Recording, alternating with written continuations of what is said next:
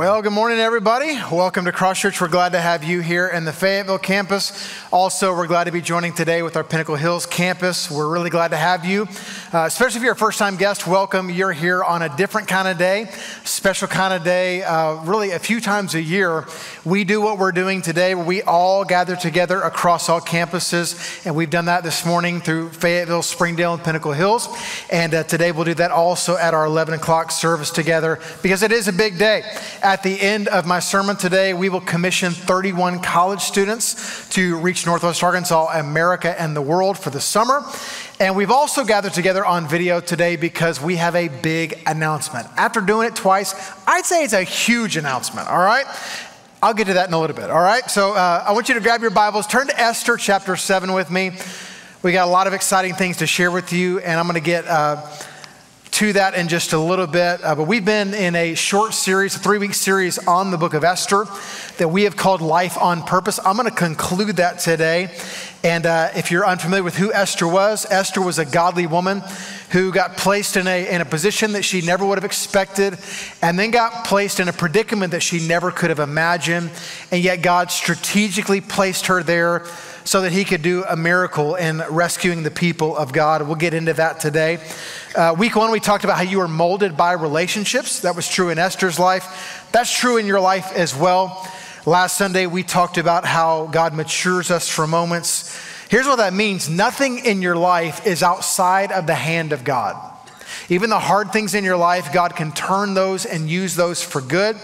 And, uh, and so that's a very encouraging thing that, uh, that God does. And God has promised to, to use all those things for his purposes.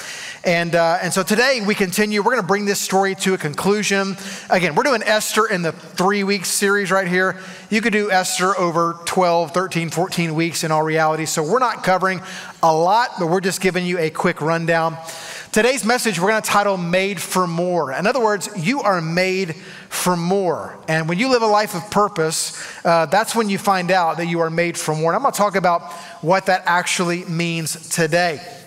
Now, with that in mind, let's, uh, let's jump into the book of Esther. If you are coming in hot to this series, haven't been here the first couple weeks, let me, uh, let me begin. I'm going to begin in chapter 5 but you just keep your finger in chapter 7. I'm just going to explain what has happened, okay?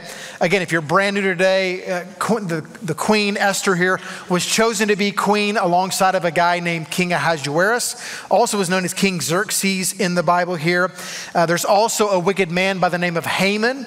Haman was a, a big anti Semite. He hated the Jews and actually convinced the king to put out a certain edict that on a certain day, all people across the kingdom had the freedom to kill any Jews wherever they lived on this certain day of the calendar. He is dead set on ridding the world of the Jews. And uh, Esther's cousin Mordecai, who's a father figure to her, got word to Esther about what was going on. And he basically said this Hey, who knows if maybe you've been raised up for such a time as this? Now, our passage ended last week with Esther inviting the king to a banquet. And chapter uh, 5 really begins uh, with a journey towards having the king and Haman all together at a feast. Well, Haman goes home and brags about being invited to have dinner with the king and queen. And he says something to this effect Guys, I'm rich. I got a lot of sons. I've been promoted with the king above all the other people. And even Queen Esther has invited me to eat with her and the king. And yet, here's what's on his mind. He says, Yet it's all worthless as long as Mordecai the Jew, that's how he would reference him, as long as Mordecai the Jew sits at the gate. Can we all agree together here at the 11 a.m.? This guy's a little bit insecure. All right, very, very much so insecure. He is so bothered by what Mordecai has done. He walked by the, the gate, and Mordecai did not stand and honor him with all the other people. He just kind of sat uh, there. And so he is so ticked off at Mordecai. And, uh, and he just talks about, even the queen has invited me to a feast. Now, if you know where the story ends, this is the most ironic, braggadocious thing in the world for him to boast about because that's actually how he's going to die, all right? And that's where we get to chapter 7. Uh, Haman had just created a gallows. You know what a gallows is? A gallows is where they would hang people. And so he has created a gallows to hang Mordecai. He hates this Jewish guy so much, he's ready to kill him. And so the time comes when the feast happens with the king and queen, and the king begins this whole scene and he says, Esther, whatever you wish, I'm going to grant to you. Up to half my kingdom you can have. And Esther just begins to pour out what's going on with the attack on the Jewish nation. She says this in verse 4. Follow along with me. She says, For we have been sold, I and my people, to be destroyed, to be killed, and to be annihilated. If we had been sold merely as slaves, men and women, I would have been silent, for our affliction is not to be compared with the loss to the king. Then King Ahasuerus said to Queen Esther, Who is he? And where is he? And who has dared to do this? And then, and again, one of the most baller moves you'll find anywhere, Esther just points over to Haman and says, a foe and an enemy, this wicked Haman. Then Haman was terrified before the king and the queen. Pause there. Let me make sure you understand what has happened. Esther tells the king, My people are under attack. You see, the king didn't realize that Esther was a Jew. And, uh, and, and, so now they get to this whole scenario, and the king's ticked off. He's like, Well, who's behind all this? And she points right at Haman and says, It's this dude right over here. You see, Haman, you can imagine Haman thinking that he's a big honored guest. You can imagine him strolling into the, to the feast. He's got a long robe maybe behind him. And uh, pretty much, bro, you are not the honored guest. You are the intended target of the night. And, uh, and so he is scared to death for his life, and it actually cost him his life. Another bit of irony Haman is actually hung on the same gallows that he had prepared for Mordecai. You may read this story and be like, well, whew, okay, the Jewish people are going to be saved. Haman is now dead. Well, here you got to know a little bit about ancient Bible history. And this is where the, the beginning of chapter 8 kind of leads us into is that whenever the king made a law, it could not be revoked. And he could add to it, and that's exactly what he did here. So the law still stood that on a certain day, all across 127 provinces from India to Ethiopia, on this certain day, people were to kill the Jews. The king added a second edict, and here's what it was that all of these Jews had the ability and the freedom to fight back. In other words, they didn't have to sit there and take it, but they could actively defend themselves. And the Bible tells us there is great gladness and joy amongst the Jews spread out throughout the provinces that they can do that. Here's where a God thing occurred. And this is like where you begin to see God turning the event. There's a strange phenomenon here throughout all 127 provinces. People who are not Jews begin to call themselves Jews because they are afraid of the Jews. So God is shifting the story right here. It's just fascinating. Turn over a page or two to chapter 9. And I wanted you to look at verse 1.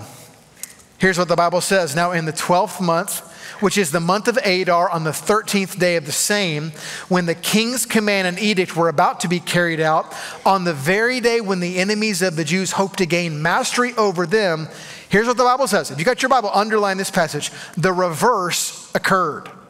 Can I just pause there for a second and say that God specializes in reversing situations? So, those of you who have a difficult marriage right now, you see no hope whatsoever, God specializes in reversing marriages. For those of you who have a relationship with a child who you feel like they are too far gone, like they are too out of, out of the lane of where God wants them to be, God specializes in reversing situations. And we could talk about that in a myriad of ways. What happened? Keep on reading in verse 1. The Jews, instead, they gained mastery over those who hated them. The Jews gathered in their cities throughout all the provinces of King Ahasuerus to lay hands on those who sought their harm, and no one could stand against them, for the fear of them had fallen on all peoples. Pretty amazing story. I told you this last week, and it's good to reiterate this again today. One of the strange and unique things about the book of Esther is that the name of God is not mentioned anywhere in the book. And I told you last week, just because the name of God isn't mentioned doesn't mean he's not present and he's not active. Look at the miracle of this story and see the evidence of the thread of God's movement throughout. God had placed a Jewish queen alongside the king. God gave favor to Esther when she asked for help from the king. God drastically turned the situation where in one passage, all the Jews are about to be killed. The next passage, people who aren't Jews are like, Yeah, oh, I'm a Jew. I'm a Jew. I don't want to die. I'm a Jew. And the Jews stand up to defend themselves, and across all the provinces, they gain victory. Do you think that God is absent in the story? Yes or no? Just call it out. not absent at all whatsoever. If you're a note taker, I want you to write this down. I, I think this is the message of Esther. And you see it again and again and again, okay? God knows where his people are, what they're dealing with, and how to best help them. Isn't that a good word for your life today? God knows where his people are, what they're dealing with, and how to best help them. Can I make it personal about your own life today? God knows exactly where you are, what you're dealing with, and how best to help you. Can we move beyond just individually? And can we just think about, you know, we're all gathered together across Northwest Arkansas through video today. Can we think about ourselves as one church, not individuals? God knows where we are, what we're dealing with, and how to best help us. God cares about His own. God cares about His own. We see that time and time and time again throughout the book of Esther. And so, as we wrap up the book of Esther today, be encouraged and take that truth back with you. The rest of the chapter tells us how the Jews gained mastery over everybody else. 500 of their enemies are killed in Susa. The 10 sons of Haman that he was bragging about, they are also hanged. And 75,000 enemies of the Jews are killed throughout the provinces. Pretty wild story. Look down at verse 19 and we'll begin to wrap up this section here. Bible says, Therefore, the Jews of the villages who live in the rural towns hold the 14th day of the month of Adar as a day of gladness and feasting, as a holiday, and as a day on which they send gifts of food to one another. This is now called the Feast of Purim. And so, Jews in that day, uh, this uh, was inaugurated to reflect on how God saved the Jews. Do you know this? Even today, Jewish people still celebrate the Feast of Purim to remember Esther saved the people of God. You get a little bit of the idea of why we titled this message Made for More. If there was ever a leader in the Bible who was made for more, who God used in a situation to live a life of purpose, it was Esther, raised up from obscurity to second in the kingdom. She was made for more. And can I add to that statement that she was just made for more? Like that's that's you know something to say that one thing. But can I add to that? More than what she even realized at the time. Like I wonder if Esther's in heaven now, like has full understanding of the Bible and history and the Jewish people. And she's like, oh, I guess that was kind of a big deal back in the day that I did, you know? Probably beyond what she was even comfortable with. And maybe your life is the same that God is using you and about to use you to grow his kingdom in ways beyond what you even realize in this moment and ways beyond what you are even comfortable with.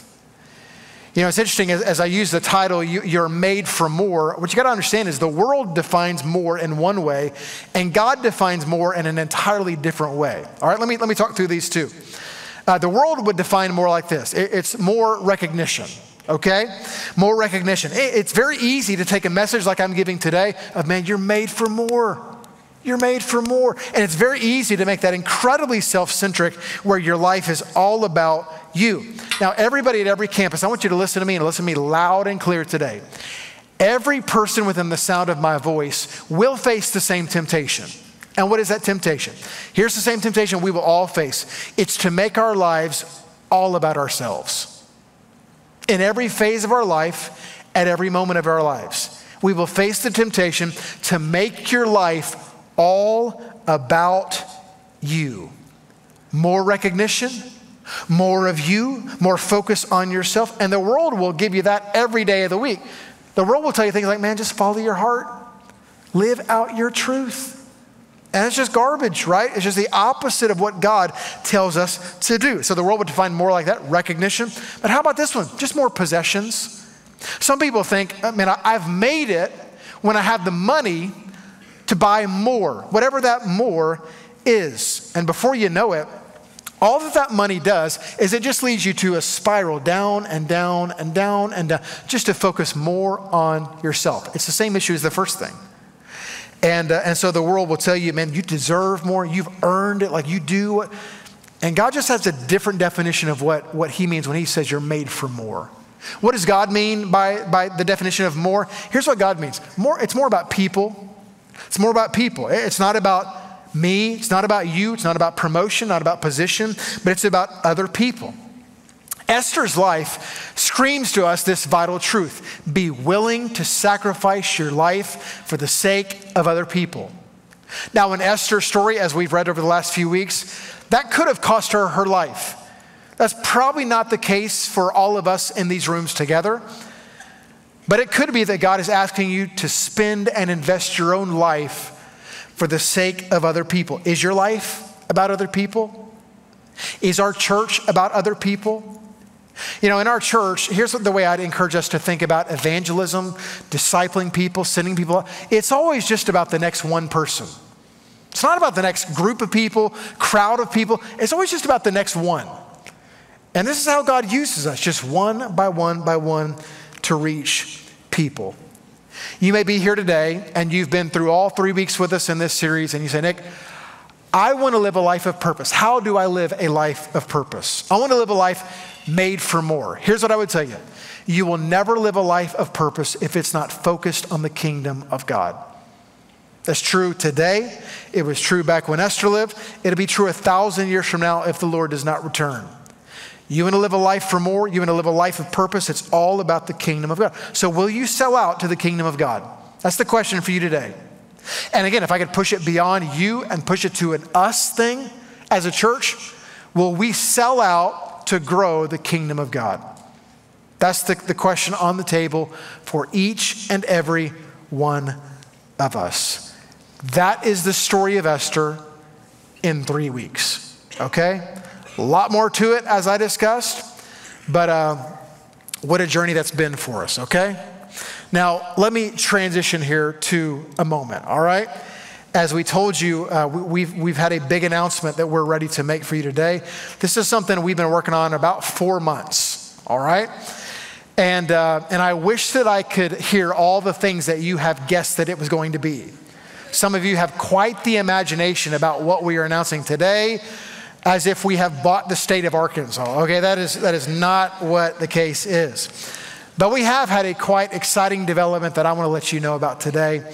Uh, our pastor's council has walked hand in hand with us step by step throughout this over the last several months together, deeply involved as we have talked about and discussed together what is best for the future of the church.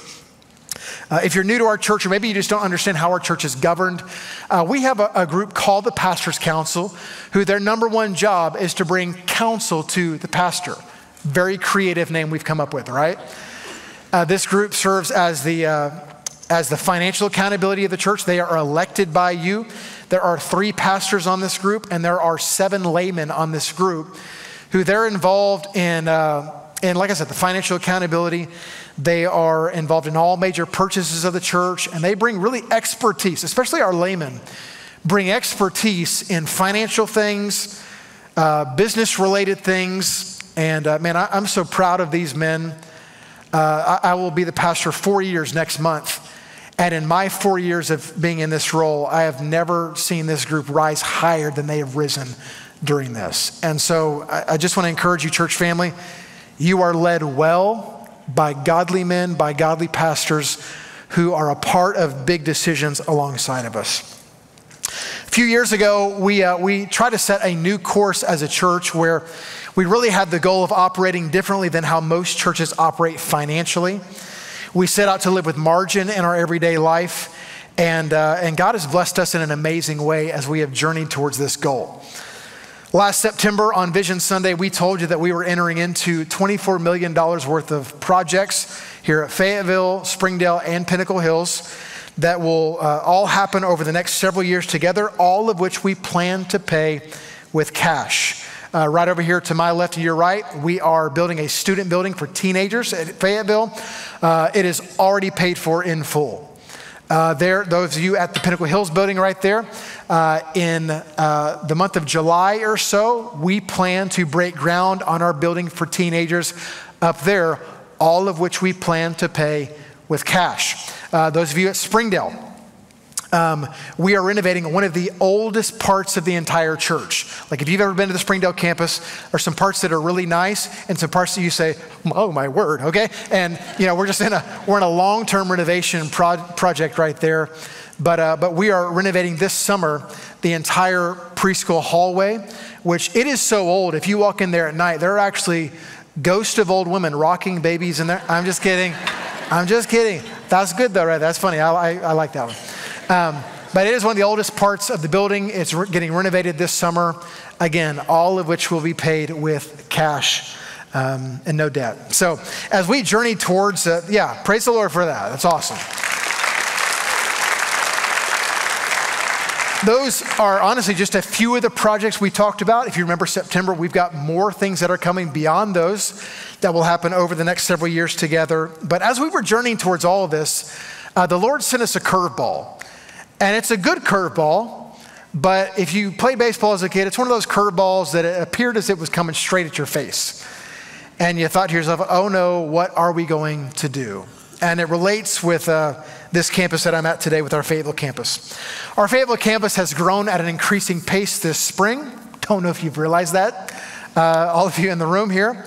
But uh, this campus has averaged over 3,100 people uh, in attendance this spring. It means they, they've averaged that which means there are days that are higher than that. Uh, Easter was higher than that. We, we broke 6,000 people at this campus on Easter Sunday, which what that means is we have way more people that consider this their church.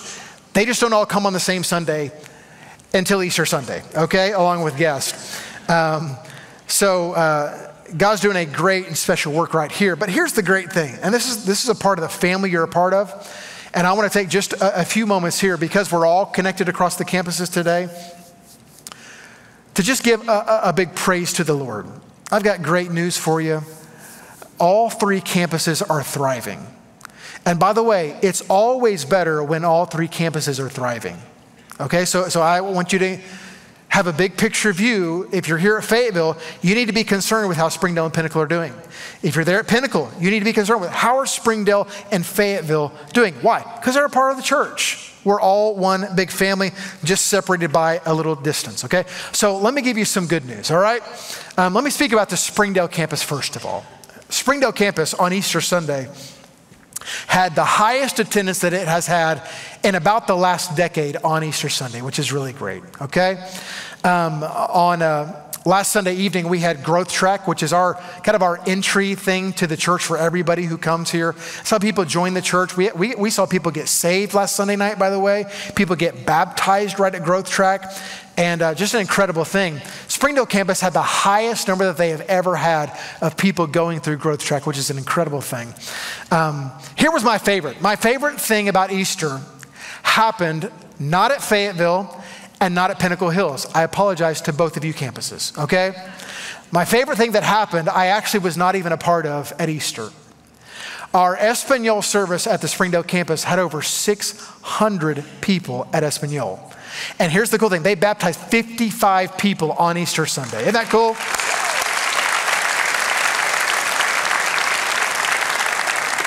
Those of you at Pinnacle Hills today, let me give you some good news about where you're at. Uh, on Easter Sunday, it was the highest attendance ever in the history of the Pinnacle Hills campus. Even as you look at this spring, you are averaging more people this spring than you ever have in the entirety of your 20 plus year history. As I mentioned, all three campuses had growth track this last week, and it was a huge night on all campuses. This is, this is something we don't need to get over. We're talking about like thousands of people and all that kind of stuff. We don't need to miss smaller numbers that are extremely significant. This last Sunday night, we had 173 people join our church. Isn't that cool? Praise the Lord for that. And uh, yeah, we can clap for that. Here's the most exciting thing that, that is happening today okay? And that's happened all year. Our church calendar runs from about mid August to mid August. And so we still have several months left in the church calendar year. But uh, at the end of our service here today at Fayetteville, uh, we will have baptized over 800 people at Cross Church this year, which is a big praise. Lord. Let's all give God praise about that.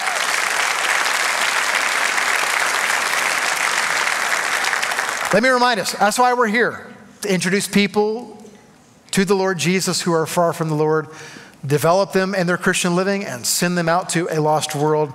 And that's what we're in the middle of doing, okay? Let me get back to those of you here at the Fayetteville campus, okay? Uh, you recognize what I will call are the great problems of this growth this spring, okay? I know you see them as great problems as well.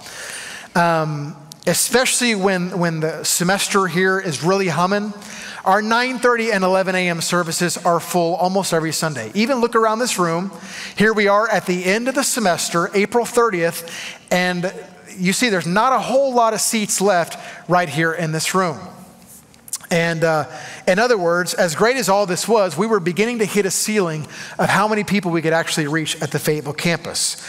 It's, uh, it's, it's one thing for us who you don't mind fighting a little parking, traffic, getting in, you know what time to get here.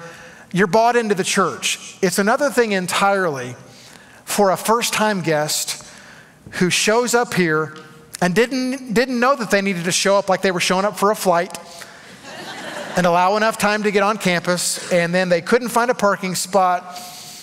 By the time they did, and they got in here, they got their kids checked in, and they sat down, especially at the beginning of the two semesters, you know, and they find out they're not even in a good seat. They are in one of these little alcoves back here where the doors are, and it's just not a great experience for a first time guest, okay? To give you some perspective on our buildings, Springdale has the most at 350,000 square feet. Pinnacle, you have about 170,000 square feet of space. Fayetteville, when the new student building is done, we will have about 77,000 square feet of space. So, just to kind of give you some perspective, it's amazing that we are piling this many people into this building with this amount of parking. Can I say it again? This amount of parking. All right? And so as a result, uh, we seriously began to consider all options. All options were on the table. When I say all, I mean all. Um, the first option we considered was sending hundreds of you at the Fayetteville campus, asking you to consider moving full time to the Springdale campus. It's the closest one to us, still have some space, and that was, that was one option. We came this close to, it was probably in February, we came this close to starting another campus in Fayetteville to try to relieve hundreds of you from here to go start a new campus elsewhere in Fayetteville. And I, I would just tell you um, at the last second, literally the day that we were going to sign a letter of intent, God closed the door. Now, I will dangle this in front of you that I'm not so sure that we're not going to be here in a few years of needing to do this. So we'll see what the Lord does, but just throwing that out here, okay? We began to look at our own campus and we inquired about the land right over here to our east. We inquired uh, about the land right behind us, right behind where I'm preaching today. And both of those were not options for a myriad of reasons, okay? Whether it was already uh, planned for something or whether it's price or all that kind of stuff. Um, on a whim, we, we contacted the owner of Fitness One right across the street diagonally from where we sit today. And we just began to inquire if he would be willing to sell. And it was a miracle that he was open to the conversation. And uh, we began talking with him about what it might take to purchase the building known as Fitness One. I told you we were pretty committed financially in a lot of directions $24 million over the next several years. And so this was something beyond what we could do on our own. And, uh, and yet the Lord has done a miracle in our midst. And that God has provided a way for us to purchase the Fitness One building as a church, okay? Now, let me, let me, yeah, we can celebrate.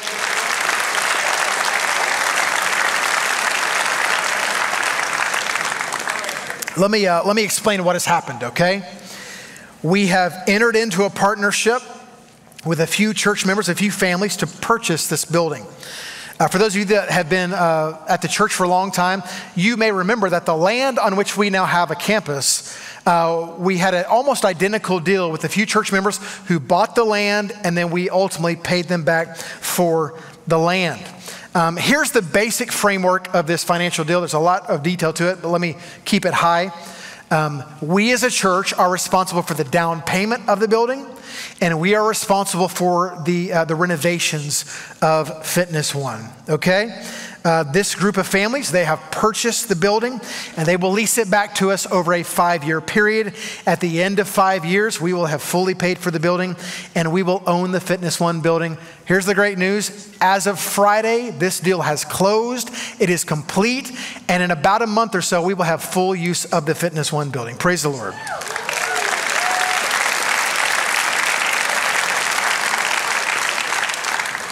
Now, uh, let, me, let, me, let me point something out that we don't need to miss, okay? In the midst of all the, the cool stuff, let me point this out because you have given so generously across all the campuses. We are prepared for unexpected opportunities like this. We had no idea this was gonna happen. Had no idea y'all were gonna grow so much, Fayetteville, okay? No idea. So when I stood before the entire church on Vision Sunday in September and talked about all these other things, we had no idea what was about to happen at our own church as we move forward. And uh, I, I would just add because we have tried to faithfully steward your gifts and operate with margin as a church, we are prepared for unexpected opportunities like this. I want everybody just look at this freshly shaved, beautiful bald head right here this morning for you, okay? Never forget what I'm about to tell you, okay? Your giving makes a difference. Makes a difference. You're about to impact a ton of people because of just your faithful, every week or every two weeks generosity, however you give. And thank you for your giving. Now, this is a significant purchase, as you can imagine. And uh, there are some significant renovations that we will undertake. And so, if the Lord leads you to be a part of helping us pay for that, by all means, come and talk to us. And all that that does is it allows us to continue to push the mission forward, and we're able to continue to pay for this project and the next project as we continue to reach people for Jesus. As always, we move at the speed of your generosity. Thank you, church, for your generosity. Now, let me show you the outside of the building. I actually went skydiving the other day and held a camera in the midst of that. So here it is. You'll see me, I was zooming down with the camera in hand. This is a 44,000 square foot building that will give us approximately 280 more parking spaces, which means we will roughly almost double our parking capacity. Can I get an amen, Fayetteville campus? Isn't that good? And the great thing is, it is right across the street, just diagonal from our current facility. Can I bring Esther back into the Cross Church story here? Just like in the story of Esther, the Lord always had an eye on his people and always has an eye on his church. We didn't know what God was doing. And in all reality, there, there was a moment where I panicked and thought, Lord, we just got in this building five years ago, and I thought we had built the forever home of Fayetteville. And I began to panic, thinking, what in the world are we going to do? And yet, God was moving, and God has provided in addition to that, like we could have never imagined. You may say, well, Nick, how are we going to use the building? I think it's a great question. I'll get to that here in a second. Let me, let me explain how this helps us right here in this room in the worship center. This stage upon which I stand is not a solid concrete stage. It's called a modular stage, which means it can be moved, it can be pulled back and a shortened stage. And so we can add about 100 to 150 seats in this room. We've always had that capability. Now, you may look at me and say, well, you idiot, why are y'all just now doing that now? Well, let me say why, okay? This is like real church work right here. Like, this is what we have to think through. It was useless to add seats in here if we didn't have parking out there. But now that we got parking out there, we can adjust the seating in here. And so, most likely, around the fall, season of the fall, when the crowds really come back in a wave, We'll think about creatively adjusting the room, get some more seats in this room. And this also, this additional parking allows us to consider adding a second worship venue on this campus. Many churches across America do that when space is an issue. You may have been at a church like that where they say, hey, we're going to go to this area now. We'll start a second service there. Um, so we're very open to that. We'll see what the Lord does. Uh, bottom line is this allows us here at Fayetteville to continue to reach people with the gospel of Jesus, okay? Here's the most exciting part of today. Let me explain how we are going to utilize this building. We're making a significant investment right away with the down payment and renovations, and a significant investment over the next five years into reaching the 30,000 college students at the University of Arkansas. This building will become the new home of Cross Church College, our ministry known as C3. Praise the Lord for that.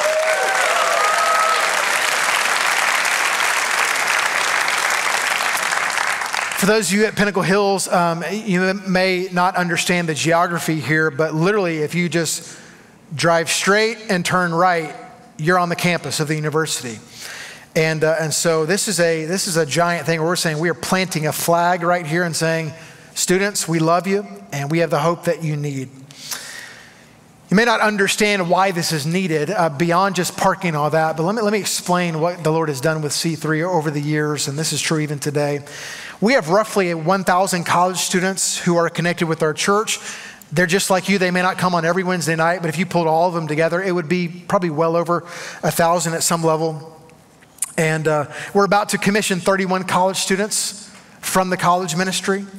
Our biggest feeder into the Cross Church School of Ministry is C3. And we believe our greatest hope of sending missionaries in the future all over the world is through our college ministry. In other words, church, I'd say to, this, uh, to us this way all of you adults across the campuses, this is our future. They are our future. And I would add to you, they are also our present right here and right now. You may be at one of the other campuses today and you say, Well, Nick, why in the world do we gather together to just hear a, a, ministry announcement about the college ministry or that Fayetteville got a building? What does that have to do with us? All right? Here's how I would say it. All of you watching at Pinnacle Hills today, when you hear C3, Cross Church College, when you hear about C3, you think, That's our college ministry. When Springdale people hear about it, they go, That's our college ministry. All of you at Fayetteville, you go, man, that's our college ministry. Here's what I'd say to all three campuses you are 100% accurate and correct. This is one of the few ministries that really does span the entire church and affect the whole church, and this is a giant leap towards the future. Now, I'm about to show you some pictures of the inside. Before I do that, let me, let me kind of uh, just speak a little reality into our uh, rooms today. Uh, while we're all excited in this room today, the reality in us purchasing um, a building where a business lives means that there are some people who are going to be looking for a job now. And so, in the midst of our excitement, I just want us as a church just to be compassionate towards people. Uh, there are people in these two rooms, I'm sure, who you are a member at Fitness One, you work out there weekly, and you are just finding out that you have lost your gym. You have mixed emotions. I completely get it. I apologize. I don't know what to say, okay? Uh, let, me, uh, let me show you some pictures here. And let's start at the front entrance. You'll see right here. This is, uh, this is what the building looks like. It's a beautiful front entrance right there when you pull up to it. And then in a short time, it will look like this, okay? Be incredible. Um, let me show you a map view, kind of a Google map view that shows you how the two buildings are connected uh, with parking. We actually own that triangle of grass space, we own part of that. So, our hope is to add parking or something there that connects the two spaces a little bit better here in the future sometimes. Uh, this next picture is of the front lobby. It's a beautiful front lobby right when you walk in. They've done a fantastic job with that building. It's about five years old. It's when we built this campus, they built that. And isn't it just like the Lord that even architecturally, it looks like it's supposed to be together? It's as if God knew, okay? Uh, here's the downstairs where all the treadmills are. The, all the equipment will be gone. Don't try to buy it from us or just pull, just pull a fast one on us. We do not own the facility stuff inside, okay? The owner will take all of that, but it's going to be a great thing. And then we also have a full court gym in there, which is just going to be massive for college students. And going to be some very heated pickup games in there where, you know, probably some fights, but Hey, to God be the glory, right? Okay. Um, let me give you some blueprints of what, we were, what we've been working on. This is downstairs. If you see the entry to the, to the right, that's the main entrance right there. It's a lot of hang space. So students can come in during the day and study. They can meet for Bible study. We'll have small groups in here. You see a coffee area that we will construct because you know it. College students love them some coffee, right? And hey, even got a little woo on that one from the college students. Where it says fellowship hall, this is when you exit the Fayetteville campus today towards Wedington. This is the pool area. We will cover the pool, we will cover the hot tub. I apologize. There ain't no way we're keeping that, all right? And, uh, and so, for a myriad of reasons that I will not get into in this setting, but uh, this will become a, a, a, large gathering space. We, to tell you the scope of this, we can fit about 400 people just in that room alone. And so it's a huge thing. Look upstairs. This is kind of the, the, crown jewel of it. We're building a sanctuary upstairs where all the weights are currently, if you know the facility. This will seat about 750 to 775 students. Uh, which means C3 will go to two services in, this, uh, in the fall uh, when this will be done, which would be really, really cool. So we see this as a place where colleges will, will come and hang out, be attracted to this. I mean, this is right on the main drag of Wedington. This is located better than we are located as a church right here. And uh, this is just going to be an amazing thing. Luke Harper told me, he said, whenever we're on campus and we tell students where the church is, we say, we're the church behind Fitness One. Now we say, we are the church that is Fitness One, which is a really cool thing, okay? Now, uh, all of you Fayetteville campus people, and really even you at Pinnacle, the whole church is going to get to use this thing. Um, you think about how adult small groups on Sunday mornings can be expanded across the street right there. Uh, you think about VBS for children who need an indoor space when it's 90 degrees outside and they can have a gym. There it is. Uh, student ministry who have a big freedom weekend for teenagers. Now we have this building. It's just an incredible, incredible win for the whole church, okay? I want you to hear me loud and clear. We're not doing this because we need another building. We got the buildings. Trust me, I feel the constant weight as the pastor of the upkeep and the maintenance and all that it takes to upkeep these buildings. So, so to, I'm not, buildings aren't sexy to me, okay? Like, like I understand you got to have them sometimes, but listen, I know what comes along with it, even the one that we have just purchased. But when I say we were at our wits' end about what to do, we were at our wits' end. And I panicked in, in January when I walked out. And I, I hang around and talk to people. When I walked out and traffic was backed up to the door back here, I thought, what in the world are we going to do? And, uh, and God knew. And like Esther, God had more in store. And his more is what? It's focused on people and it is focused on the kingdom of God, in this specific instance, on the next generation. You know, we're, we're in a. Uh, we're in an Esther moment as a church. God could have located this church anywhere in Fayetteville. He placed us five minutes on what is really one of two major exits to get to the University of Arkansas. Five minutes from the university. One of the exciting things that we're actually doing as well is we will be relocating the School of Ministry to this building. School of Ministry will now be housed, and there's a, there's a 1,600 square foot uh, it's really like a bar room, like a, uh, like a, a ballet type yoga room on the top floor. That's where the School of Ministry will now be housed. It's connected to a classroom that will be just the perfect spot for it. And uh, we're thrilled beyond belief about this. If you don't know what the School of Ministry is, this is when we, it's a one year residency that we take men and women who feel called to serve God in the local church and in missions. We walk with them for a year and send them out across the world.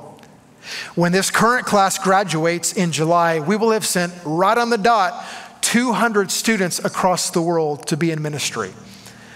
And if we had a map and we could put them up on the screen where these students were, they'd be all over the world. And in fact, some of them we actually could not put on a map because they are, are in uh, locations that it could cost them their life or it could cost them in other ways if they're found out. So, in other words, the center of our sending as a church is not going to be right across the street here at this building. Let me, uh, let me kind of bring it to closure here. Okay, let me, let me sum up all of this. We did not just purchase a cruise ship that is all about entertainment. Okay? And you may hear all this and be like, man, we just, we just purchased a cool place for the college to hang out. You're missing it if that's, if that's the case, okay? We did not just purchase a cruise ship. I really sincerely, wholeheartedly believe we just purchased an aircraft carrier. And we're about to send out pastors, ministers, missionaries across the world for decades and decades to come. Amen.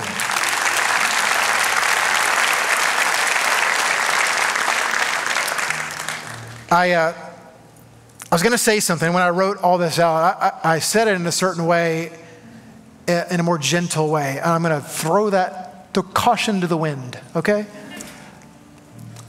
We are 153 years old as a church. I believe when we look back 20 years from today, I really believe this, that we will say as a church, this was the single most effective missionary sending thing that we have ever done as a church. I mean, this is an amazing thing that God has done. And I was just in,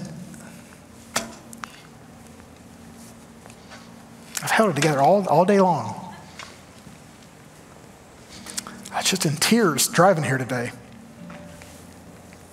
When we were on the strip mall for seven long years, um, we were looking at this property just hoping and praying. And I would drive, I used to live over in east side of Fayetteville, and I would drive over and I would park at this corner of the parking uh, of where the parking lot is. And I would go through my message for the day, I'd be talking it out loud, and then as I would wrap up, I would just say, God, would you give us this land? And I had no idea that not only would God give us this land, but God would have given us the land behind me as I was praying. Just a miracle. Said simply, the wind of the Spirit of God is blowing at Cross Church. Do you sense it? Don't miss it. Don't be a fringe person during the season of the church. You'll regret it. Jump in. The last four months, all we have done is we have tried to raise the sail to say, Lord, where's the Spirit blowing right now? And the Lord just blew us across the street. To God be the glory. Great things He has done. One more time, can we give God praise for what He's done today?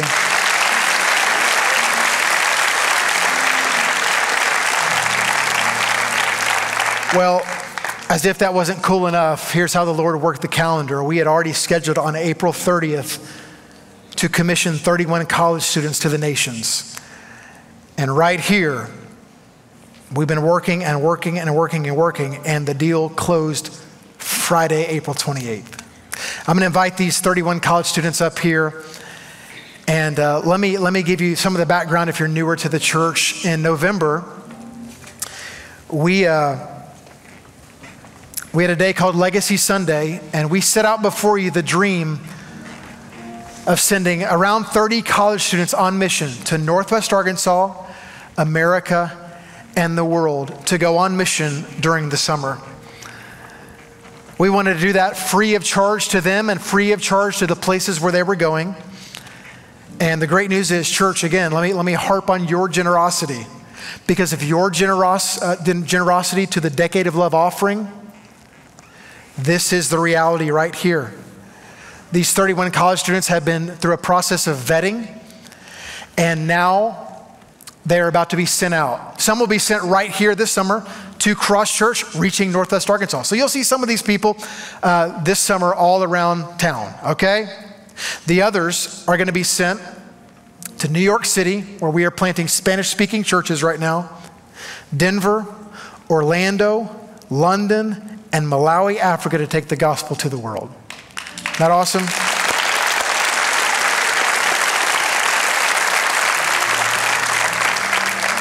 Again, let me, let me make sure you understand the big picture here. This means that these churches we're planting in New York City, Denver, London, and Orlando will get an intern for free somebody to help them as they are suffering in the midst of church planting, which is a hard work. And God's sending these people to go do it. Isn't that cool? All you college students out there in this room today, you college students there watching at Pinnacle today, I want you to understand that you got a church that loves you, believes in you, and is heavily investing in you. It's my third time to say it to y'all. Let me reiterate it one more time. This church loves you, believes in you, and is heavily investing in you this summer, okay? We believe in you. Now, in just a moment, we're all going to join together across the campuses. We're going to pray for these 31 who are about to be sent out. We're going to commission them. Here's the cool thing at Pinnacle Hills today, all right? We have sent to you about 20 to 30 college students who serve on our dream team. They're the leaders of C3. They went up there without any idea of the announcement that we were about to make. They were just told, we need you to go to the Pinnacle Hills campus. And they said, okay. And they went, okay? Here's what we're going to do we're going to all join together in prayer for these. And as soon as I say amen and the video breaks, these college students at the Pinnacle Hills campus are going to spread out uh, across the worship center. And you, as the members of that church, we're going to ask you to get up out of your seat and to go put your arm around one of these students, to encourage them with your words, to give them a hug around their neck. And why don't you pray for them? And we're going to have a time of commissioning through you at that campus. So, in just a moment, Chris Deitch is going to come up and he's going to lead you in the remainder, just a few more minutes of the service, okay? Right now, here's what we're going to do. I want everybody across all the campuses, why don't we just lift our hands towards these students? I've got Gunnar up here with me, one of our college staff who's been instrumental in C3 Send. And let's just pray for these students, okay? Let's send them out together. Lord, I thank you for the faith of these men and women. Lord, I pray that you would use them in ways beyond what they even understand, like Esther, beyond what they're even comfortable with. Lord, would you do a special, special, special work in them? By the power of the Holy Spirit, we send them out from this church. We believe in them and we love them. Take care of their every need. Protect them in every way. Lord, use them to lead people to Christ this summer, to help Christians grow in their faith this summer. And we will give you all the glory. Lord Jesus, show us your power this summer through these students. And it's in the name of Jesus that we pray. Amen.